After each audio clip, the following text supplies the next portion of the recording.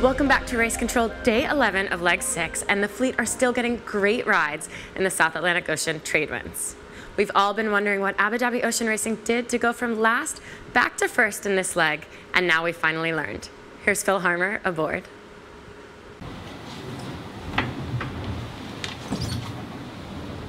In Auckland just before we left I was having a Skype conversation with my kids and uh, my eldest son Revel I was telling him about the storm.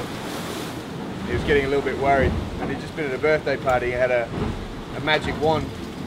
So he did a magic wish made some magic to make the storm go away and then also he made one for us so we would win and we won the leg. So when we were not going so well earlier in the leg I, uh, I sent Revel an email saying, need your help little buddy. And uh, I got an email back saying that he'd got the tracker out on the iPad and he waved his wand and said abracadabra. Thanks for the message. Revel loves hearing from you. He's been doing some magic spells. He looks at the tracker, waves his imaginary wand and makes a lot of swishing sounds and says abracadabra. It's very sweet. Revel also says, go faster daddy. He asked me to write that to you. and here we are back up with the leaders. So thanks, Rev. We owe you one. Take you for an ice cream when we get home.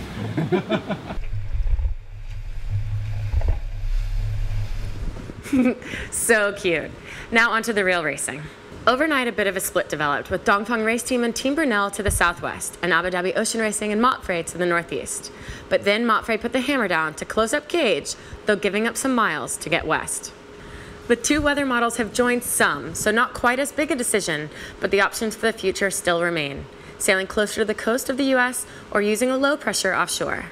For now, it's still just beautiful trade wind sailing, as we see on board Team Alvimedica and Team SCA. You hear a lot of people talk about the trade winds, how nice the sailing is down here, and how it's probably some of the best sailing you can do in the world. And uh, I'd probably agree with them. Got the best seat in the house on board right now uh, I like to take a bit of time out of my daily routine to sit up here and enjoy some of it for myself. Nowhere else I'd rather be. It's perfect condition for sailing, 20 knots, like 120 twin angle, bow on the reef. Uh, boat goes fast and, and today it's relatively flat sea, so it's, it's pretty good. Yeah, it's a really good day of sailing. Constant wind, warm water, sunshine. Can't ask much more. Doing 20 knots and uh, taking off Mars. It's a pretty comfy and fun conditions. So.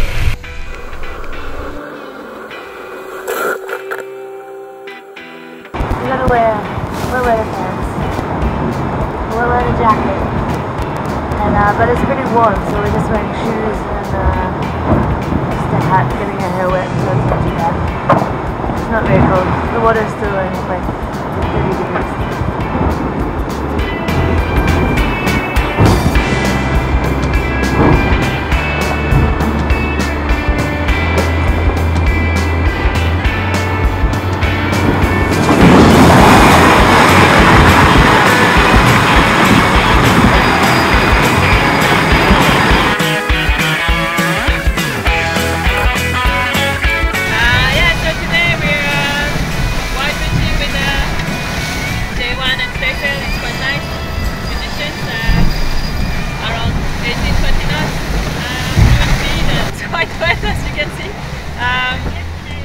wet. I mean, on this boat, uh, I think yeah, wetness is the price for speed. So every time you go fast, uh, yeah, I'm sure you're gonna get wet. We're averaging most of the time.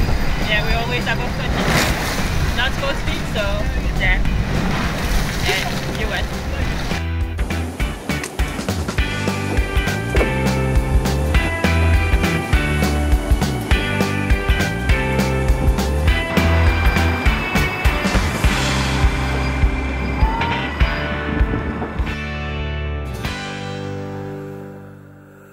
Looks absolutely gorgeous. That's it for us today. We'll see you tomorrow with special guests Don Riley and Craig Leweck.